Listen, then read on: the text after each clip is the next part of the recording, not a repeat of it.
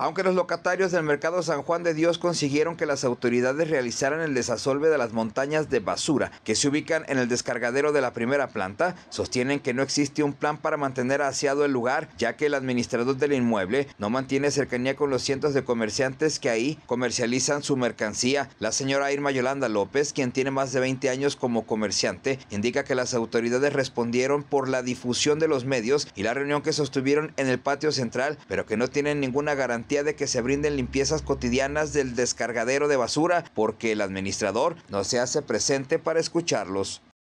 Vino una persona que se está postulando para diputado que vio la situación, pero el administrador nunca fue. Sí andaba aquí porque yo lo vi, pero nunca fue. Nunca se presentó ni a la reunión ni nada. No hasta, pues no, no estuvo presente. Los locatarios del emblemático Mercado San Juan de Dios consideran que desde la llegada de este administrador las instalaciones han ido decayendo. Por ello, insisten en mantener un diálogo con las autoridades para buscar que sus ventas no continúen decayendo por la falta de compradores. La economía de todos, aquí todos se quejan que está solo. Sí, nos quejamos que está solo, pero una acción no hacemos nada por el prójimo ni hacemos nada por cuidarnos a nosotros. Yo pienso que si todos nos cuidáramos estuviéramos mejor, pero aquí nadie hace nada por el prójimo.